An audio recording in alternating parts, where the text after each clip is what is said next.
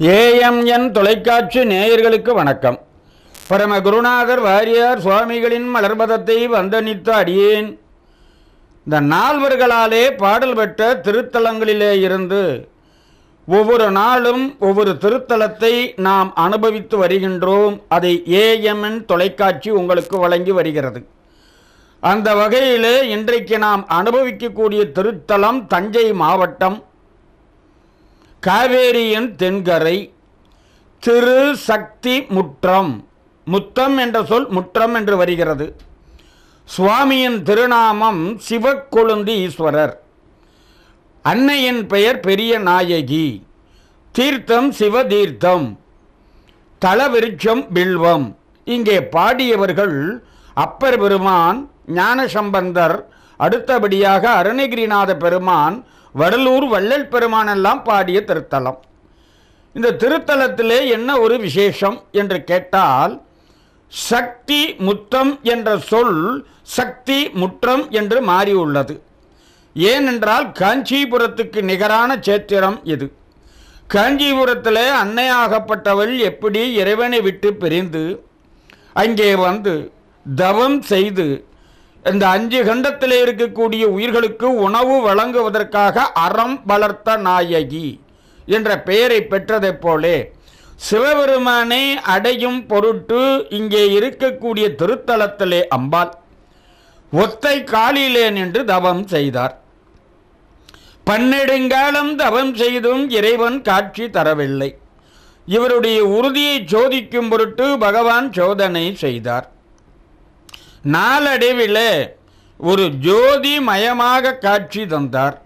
ஜோதிமயமாக இருந்ததையும் இவர் ஆறத் தழுவுகின்ற பொழுது சந்தன குழம்பை போல் இருந்ததாம்.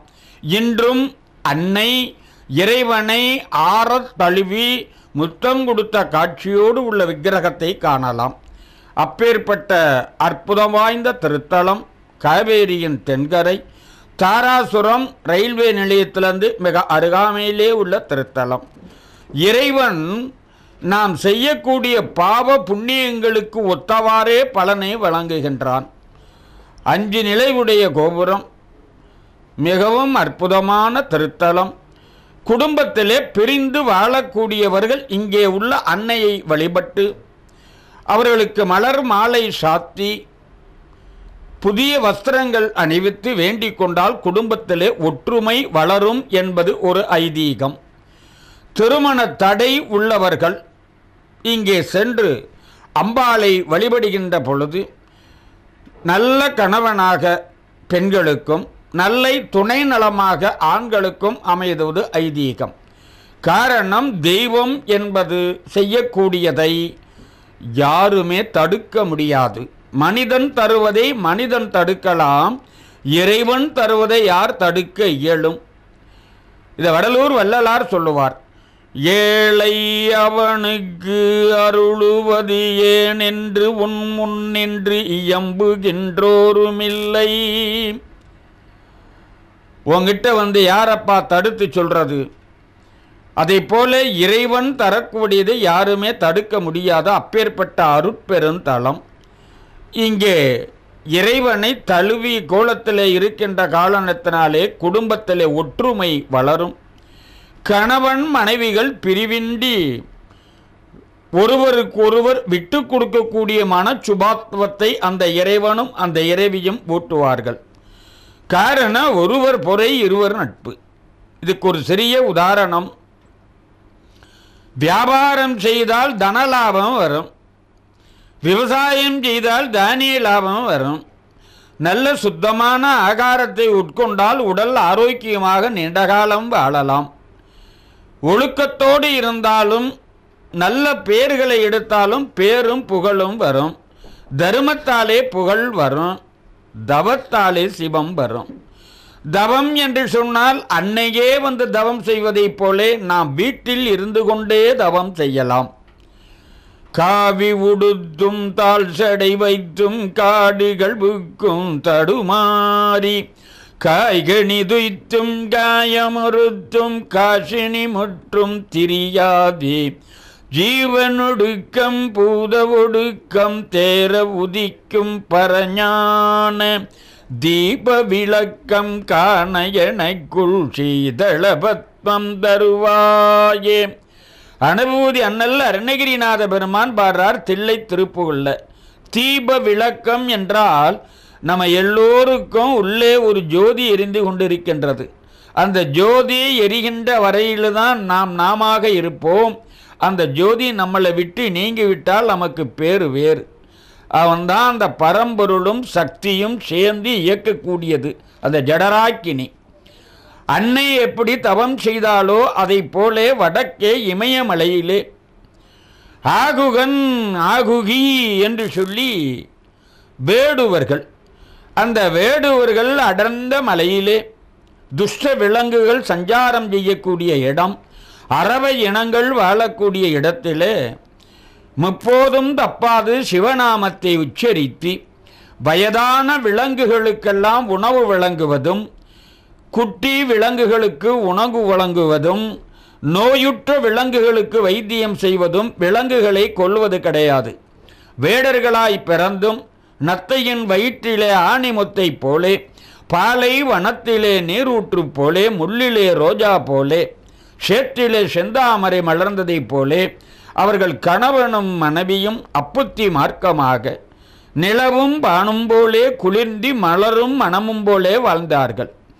அப்படி வாழ்கின்ற பொழுது தனக்கு என்று சொல்லி ஒரு சிறு குகையை அமைத்து அதற்குள் பாதுகாப்பாக கதவையெல்லாம் வைத்து இரவு நேரத்திலே துஷ்ட விலங்குகள் வந்தால் தன்னை பாதுகாத்து கொள்ள உள்ளே சென்று படுத்தி உறங்குவது அவர்களுடைய பழக்கம். அந்த இடத்துக்குள்ளே இரண்டு பேர் தான் படுக்கலாம். அவ்வளவு ஒரு சிறிய இடம். ஒரு நேரத்தில் காமாறு வகைகளை வென்ற காமம் வெகுளி அவா என்ற மூவாசையை துறந்து முற்றும் துறந்த பட்டற்ற பரமஞானி ஒரு வயோதிக சிவனடியார் இங்கே வந்தார். வந்தவுடனே ஆகுகன் பார்த்தான். பெரியவரே இந்த நேரம் காலமோ அகால காலம் இங்கே வந்திருக்கிறியே. உன்னை நாங்கள் காலத்தை கடத்தி இந்த மலையை தாண்டி வெளியில் விடுவதற்கும் நேரம் இல்லையே.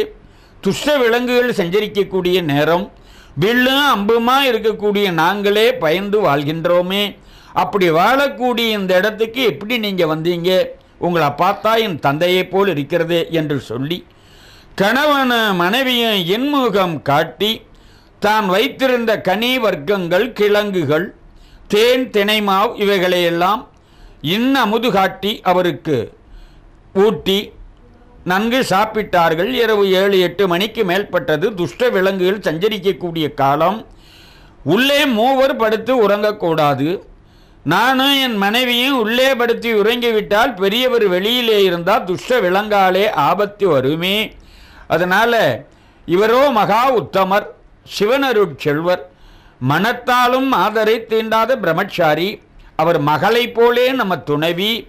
நமது மகளோ கற்பின் அணிகலன். அதால் இவங்க ரெண்டு பேரையும் உள்ளே படுக்க வைத்து தாளிடச் சொல்லிவிட்டு நாம் ஆயுத பணியாக வெளியிலே நிற்போம். வெளியிலே வரக்கூடிய துஷ்ட விலங்குகளை சம்ஹாரம் பண்ணி தன்னை பார்த்து கொள்ளலாம் என்று சொல்லி வேடனாகப்பட்டவர். தபோதன என் துணைவியார் உங்கள் மகளை போலே. அம்மா இவர் உனக்கும் தகப்பனாரு தகப்பனார் குருவுக்கு குரு. உள்ளே படுத்திக் கொள்ளுங்கள் என்று ஒரு மனதாக மனசாந்தியோடு உள்ளே சொன்னான். அந்த மாதாகப்பட்டவள் உரம் திரும்பி படுத்தார். இவரும் உள்ளே சென்று சிவ சிந்தனையோடு ஒரு பராபகரமான எண்ணத்தோட இத்தனை பெரிய இதம் சரீரம் என்று சொல்வதைப் போல ஏழ்மையிலும் நேர்மையான முறையிலே ஒரு வன வேடனாக இருந்தாலும் நமக்கு இப்படி ஒரு ஆதரவு தந்தானே என்று சொல்லி அந்த பெரியவர் உள்ளே படுத்து சிவ சிந்தனையோடு சற்று கண் உறங்கினார். கல்லும் புல்லும் உறங்கக்கூடிய நேரம். வேடனுக்கும் களைப்பு அதனாலே கொஞ்சம் அயர்ந்துட்டான்.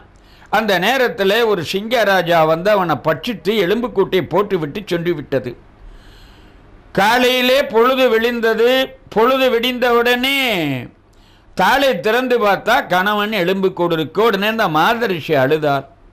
தபோதனா ஒரு இரவிலே என் கணவன் என்னை விட்டு பிரிந்து விட்டாரே என்று வேதனைப்பட்டு அழுதால் வேதனைப்பட்டு அழுகின்ற பொழுது அவரும் கண்ணீர் விட்டார். ஐயோ! மகனை காட்டிலும் சால பரிந்தி எனக்கு உதவி செய்த உத்தமனே உனக்கா இந்த நிலை என்று சொல்லி அங்கே இருக்கக்கூடிய அகில் கட்டை சந்தனக்கட்டை இவைகளையெல்லாம் அடுக்கி தீ மூட்டி மந்திரம் ஜெபித்து தன் மகனை போல நினைத்து நெருப்பு கடன் செய்தார். அந்த அம்மையார் பார்த்தார் கணவனை இழந்து விதந்துவாக வாழ நான் விரும்பவில்லை ஐயா. எனவே நானும் இந்த தீக்குண்டத்தில் உழுகிறேன் என்று விழுந்தார். அவருக்கு இன்னும் வேதனை. ஒழுங்காக வாழ்ந்த குடும்பத்தை நாம் பிரித்து விட்டோமே என்று சொல்லி இவரும் பலம் வந்து மந்திரங்களை ஜெபித்து இவரும் அந்த தீக்குண்டத்திலே உளுந்து மூவருமாக அக்னி பிரவேசம் ஆனார்கள். இந்த மூன்று ஆத்மாக்களும் ஜோதிமயமாக திருக்கையிலே சென்றது. பரமேஸ்வரன் பார்த்தார் நீ வேடனாக இருந்தும் இத்தனை பெரிய தவம் செய்த காரணத்தினாலே உன் தர்ம பத்தினியும் உனக்கு ஒற்றுமையான முறையிலே வாழ்ந்ததாலே தெரிஞ்சு மிதித்தாலும் நெருப்பு சுடும் தெரியாம தொட்டாலும் நெருப்பு சுடும். அப்பத்தி மார்க்கமாக அந்த வேடராலே உங்களுக்கு இந்த நிலை ஏற்பட்டது. எனவே நீ செய்த அந்த தவத்தின் பயனாலே நீ நலமகராஜனாக பிறக்க கடவது என்று சொல்லி அந்த வேடனை நலமகராஜாவாக படைத்தார் சிவபெருமான். அந்த அன்னையை வேடுவ மாதுவாகிய ஆகுகியை தமயந்தியாக படைத்தார். வாழ்ந்த குடும்பத்தை எதிர்பாராத விதமாக வேணும் என்று செய்யவில்லை. இருந்தாலும் தவறு தவறுதானே. அந்த குடும்பம் பிரிந்து விட்டதே. அதை ஒன்றுபடுத்துவதற்காக அந்த தபோதனாகரப்பட்டவர் அன்னப்பறவையாக பிறந்து அவர்களை ஒன்று சேர்த்து சேர்த்து வைக்கின்றார். இதுதான் தவம். இதுதான் தவத்துக்கு அழகு. நான் மூன்று மாதங்களுக்கு முன்னே செய்த தானியம் தானே விவசாயம் தானே இப்போ விளைவை தருகிறது. சென்ற மாதத்தில் உழைத்த உழைப்புக்கு இப்பொழுது ஊதியம் வருகிறது. சென்ற வருடத்தில் உழைத்த உழைப்புக்கு போனஸ் வழங்கப்படுகின்றது. அதுபோல உடனுக்குடனே கிடைக்குமா? ஒரு மாங்கன்றை நட்டால் ஒரு ஐந்து ஆண்டுகள் காத்துத்தான் இருக்க வேண்டும். ஒரு தென்னங்கன்றை நட்டால் ஒரு ஐந்து ஆறு ஆண்டுகள் காத்து இருந்தால்தான் இளநீரை தரும். அதுபோல கைமேல் பலனை தருமா? இதை உமை அம்மையாகப்பட்டவள் அங்கே வந்து இந்த திரு சக்தி முற்றம் என்ற திருத்தலம் முத்தம் என்ற பெயர் முற்றம் என்று மாறியது. காவேரியின் தென்கரையிலே உள்ள மகா அற்புத திருத்தலம். இந்த திருத்தலத்தில் மிகவும் விசேஷமாக இருக்கக்கூடியது அந்த முழுக்கு விழா என்று சொல்லுவார்கள். அதாவது குடமுழுக்கு விழா என்பதைப் போல சுவாமி ஐப்பசியிலே இங்கே முழுக்கு விழா மிக விசேஷமாக நடப்பதாக சொல்லுகின்றார்கள். மாயவரத்தில் உத்தரம் இங்கே தட்சணம் என்கின்றார்கள். அது பரம்பரையாக தொன்று தொட்டு நடக்கக்கூடிய திருவிழா. காவேரியின் தென்கரை. வாய்ப்பு இருக்கின்ற பொழுது இந்த ஆலயத்தை வழிபடுவதாலே இறைவனின் அருளாலே திருமண தடைகள் நீங்கி நல்ல வாழ்க்கை துணை நலம் அமையும். இறைவனின் திருவருளாலே அறிவான குழந்தைகள் பிறக்கும்.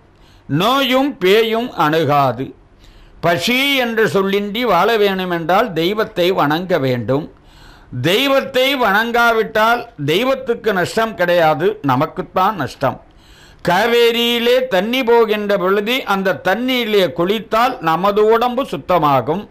குளிக்க மாட்டேன் என்று அடம் செய்தால் காவேரிக்கு நஷ்டமில்லை நம்ம உடம்பு தான் நாரும் அக்காலத்திலே இரும்பு பக்தி செய்தது திருவெரும்பூர். எலி பக்தி செய்தது திருமறைக்காடு. குரங்கு காகம் நண்டெல்லாம் பக்தி செய்தது குரங்கனி முட்டம். பாம்பும் சிலந்தியும் அரவமும் பூஜித்தது திருக்காலத்தி. இப்படி சிட்டறிவு ஜீவர்களெல்லாம் வழிபடுகின்ற பொழுது மனிதர் வழிபடலாமா வேண்டாமா என்பதை நாம தானே தீர்மானிக்க வேண்டும். இந்த உலகத்துக்கு இறைவன் கொடுத்த அற்புதங்கள் அனந்தம். இரண்டு பெரிய தீபங்களை போட்டு கொடுத்திருக்கின்றார். பெரிய ஒரு காத்தாடியை போட்டு எந்த நேரமும் அஞ்சு காண்டத்துக்குமே காற்று வீசக்கூடிய அளவுக்கு ஒரு ஃபேன் போட்டிருக்கார். இதுக்கெல்லாம் யார் ரீடிங் எடுக்கிறாங்க? சூரிய பகவானின் வேகம் ஒரு வினாடிக்கு ஒரு லட்சத்தி எண்பத்தி ஆறாயிரம் மைல் வேகத்தில் போகிறார் அப்போ அறுபது வினாடிக்கு எவ்வளவு? அறுபது நிமிஷத்துக்கு எவ்வளவு? இருபத்தி நாலு மணி நேரத்துக்கு எவ்வளவு? இதையெல்லாம் அன்பர்கள் கணக்கு போட்டு பார்த்தா எத்தனை கோடி மைல்னு தெரியும். சூரிய மண்டலத்திலிருந்து பூமிக்கு சூரியன் உதயம் வருவதற்கு எட்டு நிமிஷம் ஆகுதான். எட்டு நிமிஷம்னா நானூற்றி எண்பது நிமிஷம் வினாடி. அப்போ நானூற்றி எண்பது வினாடிக்கு கணக்கு போடுங்க. ஒரு வினாடிக்கு ஒரு லட்சத்தி எண்பத்தாறாயிரம் மைல்னா சூரிய மண்டலத்துக்கும் பூமிக்கும் உள்ள தூரத்தை கணக்கு போட்டாங்க. அந்த காலத்திலே கணக்கு போடுகின்ற பொழுது இந்த மாதிரி கம்ப்யூட்டர் கிடையாது இன்டர்நெட் கிடையாது விஞ்ஞான வசதி இல்லை. ஞானிகள் எல்லாம் தெய்வ அனுக்கிரகத்தாலே மெஞ்ஞானத்தாலே கண்டுபிடித்து சொன்ன கருத்துக்கள் இவைகளெல்லாம் அதை நாம் முழுவதுமாக நம்பித்தான் ஆக வேண்டும். நம்ப மாட்டேன் என்று சொன்னால் அது அவரவர்கள் பிரியம். காரணம் தெய்வம் என்பது ஒன்று உண்டு. அந்த தெய்வம் என்பது கண்ணுக்கு தெரிய வேண்டிய அவசியம் இல்லை. மலர் உருவப் பொருள் கண்ணுக்கு தெரிகின்றது. அதில் இருந்து வரக்கூடிய மனம் அருவப் பொருள் கண்ணுக்கு தெரிவது கிடையாது. அப்போ அறிவுள்ளவர்கள் என்ன நினைக்கிறோம் இந்த மனம் இந்த மலரிலே இருந்துதானே வருகின்றது என்று நாம் புரிந்து கொள்கின்றோம். அந்த மனத்தை உணர்த்துவது மலர். அப்போ மலர்ல இருந்தால் மனம் வருதுன்னு நம்ம புரிஞ்சுக்கிட்டோம். ஆனால் மலரோ உருவப்பொருள் மனமோ அருவப்பொருள் இந்த கண்ணுக்கு தெரியக்கூடிய இந்த உடம்பை கண்ணுக்கு தெரியாத உயிர்தானே இயக்கி கொண்டிருக்கின்றது. யாராவது நம்ம உயிரை பார்த்துருக்கோமா? அப்படி உயிரை பார்த்துருந்தா கடவுளை சுலபமாக பார்க்கலாமே பார்க்கலாம். அதற்கு பெரிய முயற்சிகள் பண்ண வேண்டும். உலக ஆசைகளை வெறுக்க வேண்டும். வல்லல் பெருமான் பாம்பன் சுவாமிகள் இப்பேற்பட்ட ராமலிங்க அடிகள் இவர்கள்லாம் அருண் அனுபூதிமான அருணகிரிநாத பெருமான் நால்வர்கள் இவர்கள்லாம் கடவுளை பார்த்திருக்கின்றார்கள் அந்த அடையாளங்களை நமக்கு விளக்கி கூறுகின்றார்கள். நாம் உலக ஆசைகளை கொஞ்சம் விட்டால் கடவுளை சுலபமாக பார்க்கலாம். பசுவை கட்டுவதற்கு ஒரு கயறு போதும். குதிரையை கட்டுவதற்கு இரண்டு கயறு போரும் யானையை கட்டுவதற்கு மூணு சங்கிலி தேவைப்படுகிறது. ஊஞ்சலை கட்டுவதற்கு நாலு சங்கிலி தேவைப்படுகிறது. நமக்கு இந்த மனம் என்ற ஒன்றை கட்டுவதற்கு அஞ்சு சங்கிலி தேவைப்படுகிறது. ஊஞ்சல் எப்போவாவது ஒரு இடத்துல நின்று இருக்கா அசைந்து கொண்டே இருக்கும். அப்போ நமக்கு நேர் தம்பி ஊஞ்சல். நாலு சங்கிலி உள்ள ஊஞ்சலே ஆடிக்கிட்டு இருக்கிறப்போ அதை விட ஒரு சங்கிலி அதிகமாக உள்ள மனம் ஒரு இடத்துல இருக்குமா? இந்த மனத்தை அடக்கினால் நாம் மற்றது அனைத்தையும் அடையலாம். அதால தான் மனமெனும் பேய்க்குரங்கே என்பார் வடலூர் வள்ளலார். இந்த மனத்தை அடக்கினால் சினம் அடங்கும். அதால தான் நாலு சங்கிலியும் ஒரு ஞான வாளாலே ஒரு அறிஞர் அறுத்தார். ஊஞ்சல் கீழே விழுந்து விட்டது ஆடவில்லை. அதை போலே புலன் ஐந்தும் வென்றானின் வீரமே வீரம் என்றார் தமிழ் மூதாட்டி அவ்வை. ஏன்னா இந்த ஐம்புலன்களை அடக்க கற்றுக்கொள்ள வேண்டும். அப்பொழுது இறைவனை அவனுடைய தன்மையை சுலபமாக அறியலாம். சாப்பிடுவதானே நாம். செரிமானத்தை செய்வது அவனல்லவா? அப்பேற்பட்ட அந்த இறைவனை விண்ணுலகத்தை விட்டு மண்ணுலகத்திலே இந்த இடத்தை தேர்ந்தெடுத்து உமாதேவியன் வழிபட வேண்டும். அப்பகுதியிலே ஒரு நல்ல ஆலயம் உருவாக வேண்டும் என்று சொல்லி சுயம்புவாக சுவாமி இருக்கின்றார். இன்றும் சுவாமியை முத்தமிட்ட கோலத்தில் விக்கிரகம் உள்ளது. அங்கே இருக்கக்கூடிய விநாயக பகவான் நரமுக தோற்றத்தோடு தும்பிக்கையோடு இருப்பது ஒரு அதிசயம். நரமுகம்னா யானை முகம் அல்ல மனித முகத்தோடு இந்த ஆலயத்தில் இருக்கக்கூடிய ஒரு அதிசயம். ஏன்னா எங்கே பார்த்தாலும் யானை தலையோடு தான் இருப்பாள் கஜானனத்தோட. கஜமுகாசுரனை வதைப்பதற்காக இவர் கஜமுகாசுரனோட வதைப்பதற்காக நெஞ்சக்கன கள்ளும் நெகிழ்ந்துருக தஞ்சத்தருள் சண்முகனுக்கு இயல்சோர் செஞ்சற் புனைமாலை சிறந்திடவே பஞ்சக்கரவானை பாதம் பணிவோம்னார். ஐந்து கரத்தானின் பாதத்தை பணிவோம்னார். கந்தர் அனுபூதியிலே சுவாமி விநாயகருக்காக பாடியது. அனுபூதி அண்ணல் அருணகிரிநாத பெருமான். அப்பேற்பட்ட அனுமூதி அண்ணல் அருணகிரிநாத பெருமானும் சிற்றம்பல தேகி வடலூர் வள்ளல் பெருமானும் பாடிய திருத்தலம் திரு சக்தி முற்றம் முத்தம் என்ற சொல் முற்றம் என்று மாறி வருகிறது. ஏன்னா முத்தம் தரக்கூடிய அளவுக்கு அந்யோன்யமாக சுவாமியும் அம்பாலும் இருந்த திருத்தலம் அதாலே குடும்பத்தில் பிணக்கு உள்ள தம்பதியர்கள். இத்தலத்தை நாடுகின்ற பொழுது அந்த அம்பாளின் அருளாலே அந்த பெண்மணிகளுக்கும் விட்டு கொடுக்கக்கூடிய குணம் சுலபமாக வரும். அதே நேரத்தில் இறைவனின் தானுவாக அதாவது ஜோதி மயமாக உருவாகி அன்னை ஆறத் தழுவுகின்ற பொழுது சற்றும் பயமின்றி சந்தன குழம்பாக குளிர்ந்த நிலையிலே காட்சி தந்த திருத்தலம் எப்பேற்பட்ட கோபமுள்ள ஆண்களும் இத்தலத்துக்கு சென்று வழிபடுகின்ற பொழுது அந்த கோப அக்கினியாகப்பட்டது குளிர்ந்த சந்தனமாய் மாறும் தன்மையுடைய திருத்தலம். இந்த திருத்தலம். இது தஞ்சை மாவட்டம் காவேரியின் தென்கரை. மிகவும் விசேஷமான திருத்தலம். கிட்டத்தட்ட இரண்டாயிரம் ஆண்டுகளுக்கு முற்பட்டதாக தலவரலாறு கூறுகின்றது. இந்த திருத்தலத்திற்கு செல்லக்கூடியதற்கு தாராசுரம் ரயில் நிலையம் என்ற இடத்திலிருந்தும் செல்லலாம். அல்லது வாகன வசதி இப்பொழுது எல்லா ஆலயங்களுக்குமே கார் கிட்டவே போய் நிற்கக்கூடிய அளவுக்கு பேருந்து நிற்கக்கூடிய அளவுக்கு வசதி செய்து வைத்திருக்கின்றார்கள் நமது அரசாங்கம். அங்கே சென்று தரிசிக்கலாம் விசேஷமான பூஜைகள் செய்யலாம். திருமண தடை உள்ளவர்கள் அந்த நரமுக விநாயகருக்கு கரும்பு இக்கவரை நற்க நீகள் சர்க்கரை பருப்புடன்னை எட்பொரியவத்துவரை இளநீரு. வண்டெச்சில் பயரப்பவகை பச்சரிசி பிட்டு வெள்ளரி பழமெடிப்பல் வகை தனி மூலம். மிக்க அடிசிற்கடலை பட்சணம் எனக் கொள்ளொரு விக்கின சமட்டன் என்னும் அருளாலி விற்பகுடி லச்சடில விற்பரமரப்பரருள் வித்தகமறுப்புடைய பெருமாளே. அருணகிரிநாத பெருமான் விநாயகருக்கு படைக்கக்கூடிய உணவுகள் அனைத்தையும் இதில் இருபத்தி ஓரு உணவுகள் அடங்கியிருக்கு. இக்குனா கரும்பு. கரும்பு வண்டி எச்சில்னா தேன் நல்ல கனிகள். மாவுகளை எடுத்து அப்பம் பெடாம் மற்றபடியாக பால் தேன் இவைகளெல்லாம் கலந்து அவருக்கு படைத்து வழிபட அவர் அவைகளை உண்டு குழந்தைகளுக்கெல்லாம் நல்ல கல்வியை தருவார். ஞான போதகன். அந்த ஞான போதகனாகப்பட்டவர் ஞானத்தை தந்து ஞாபக சக்தியை தந்து கல்வி நிலையிலே உயர வைப்பார் என்பது ஒரு தலை.